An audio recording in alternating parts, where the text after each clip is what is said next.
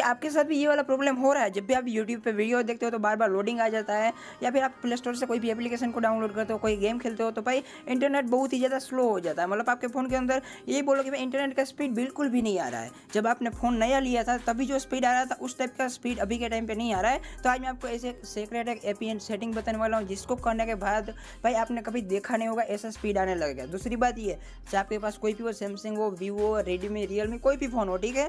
इसके अलावा आपके पास कोई भी सिम हो चाहे जियो हो आईटेल हो, वोडाफोन हो, सारे सिम के अंदर ये वाला ए है जो वर्क करने वाला है। और भाई नेट की स्पीड देख आप लोग भी चौक जाओगे। तो वीडियो में पूरा अंत तक बने रहिए। चैनल पर नहीं हो चैनल को सब्सक्राइब कर देना क्योंकि मेरे भाई, हमारा भी ड्रीम है, हम भी एक दिन वन मिलियन से ज़्यादा क्रॉस करें तो एक बार ज़रूर से सपोर्ट कर देना। चलिए अब चलते चलते हैं इनकी सेटिंग की ओर। सबसे पहले देखो दोस्तों, आपको चले जाना अपने मोबाइल के सेटिंग में। मैं आ चुका हूँ सेटिंग में। यहाँ पे आपको इंटरनेट का ऑप्शन मिल जाता है या नेटवर्क का ऑप्शन मिल जाता है।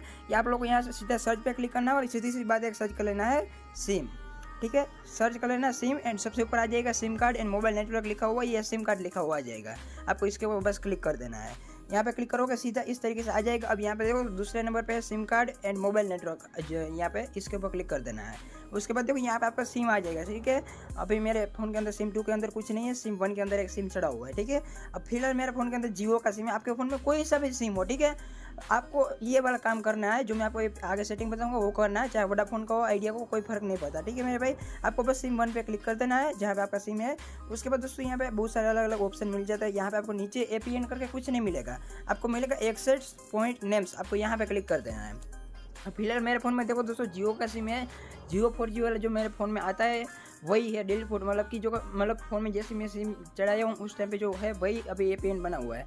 लेकिन यहाँ पे देखो दोस्तों स्पीड बोर्ड नाम का एक नया एपीएन है जो मैंने पहले से अभी बनाया है वीडियो बनाने से पहले। अब मैंने ये इसलिए बनाया है ताकि अगर मैं वीडियो में बनाता तो आप लोगों को थोड़ा मतलब वीडियो भी लंबा हो जाता और टाइम भी वेस्ट होता। इसलिए मैं नहीं चाहता हूँ, इसलिए मैंने सीधा यहाँ पे आपको ये वाला सेटिंग बता दिया। ठीक है मेरे भाई? अब यहाँ पे आपको क्या करना है, सबसे पहले तो अपने फ़ोन में के अंदर कुछ इस तरीके से आ जाएगा। आपको यहाँ पे प्लस वाला आइकन पे क्लिक कर देना है। प्लस वाला आइकन पे क्लिक करोगे, कुछ इस तरीके से आ जाएगा। ठीक है? अब आपको करना क्या मेरे भाई? तो कि यहाँ पे आप लोगों को सबसे पहले नेम के अंदर नेम के अंदर देख सकते हो एस कैपिटल है, उसके बाद स्पीड लिखना है, फिर बोट जी टी एट हंड्रेड, ठीक है? इस तरीके से पूरा कोई कोई गलती नहीं होनी चाहिए मेरे भाई। अच्छे से देख लेना स्क्रीनशॉट खींच लेना, ठीक है? कोई भी मिस्टेक नहीं होनी चाहिए। जैसे मैंने लिखा, वैसे लिख दो और ओके पे क्लिक कर दो। इसके बाद ए पे क्लिक करो। फाइव जी प्रोक्सी में लिखो, ठीक है? फाइव और जी मतलब जी वो कैपिटल में, उसके बाद प्रोक्सी में पूरा का पूरा नॉर्मल वर्ड में। इसको भी ओके कर दो। उसके बाद थोड़ा सा नीचे आना यूज़र नाम पे आपको जियो फिर स्लेस फिर five G S B P इस तरीके से आपको कर देना, ठीक है? यूज़र नेम के अंदर वापस से देख लो मेरे भाई। छोटी सी मिस्टेक मत करना, ठीक है मेरे भाई? इतना करने के बाद आपको थोड़ा सा नीचे आ जाना है और आपको यहाँ पे पासवर्ड पे कुछ डालना नहीं है। उसके बाद सर्वर आ जाता है तो W W W dot G capital उसके बाद गूगल डॉट कॉम ठीक है? इस तरीके से आपको सर्वर पे लगा के ओके पे क्लिक कर देना है। एम एम एस सी में कुछ नहीं आता एम एम एस प्रोक्सी के अंदर भी कुछ नहीं आता है एम एम एस पोर्ट के अंदर भी कुछ नहीं आता। इसके अलावा यहाँ पे एम सी सी और एम एस सी ये आपके, ठीक है आपकी जो एरिया है, उसके हिसाब से यहाँ पे ऑटोमेटिक रहता है, इसको रहने देना। ओथनसन टाइप लिखा हुआ है यहाँ पे आपका अगर P A P and C H A P ये वाला लास्ट वाला, इसको सिलेक्ट कर लेना है, ठीक है? इसके अलावा यहाँ पे ए पी एन प्रोटोकॉल के अंदर आपको यहाँ पे आई पी वी आई आपको सिलेक्ट कर लेना है। इसके अलावा A P N roaming protocol में आप लोग करना चाहते हो तो यहाँ पे भी I P V four I P V six आपको कर देना है। इतना करने के बाद दोस्तों, यहाँ पे बैरियर पे आपको क्लिक करना है।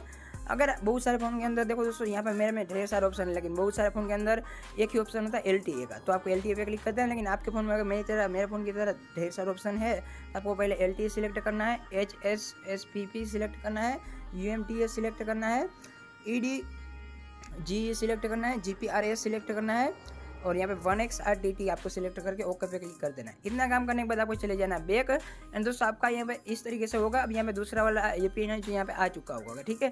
सॉरी मैं बताना भूल गया। आपको यहाँ पे इतना करने के बाद ना सॉरी मैं भूल गया था।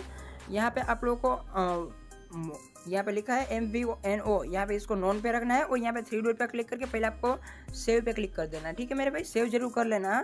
वरना ये सेट नहीं होगा। सेव करने के बाद आपको बेक आना इस तरीके से आ जाएगा। अब यहाँ पे आपका जो भी सिम होगा, वहाँ पे होगा। आपको सिम्बल सा हमने जो बनाया, उसके ऊपर क्लिक कर देना है।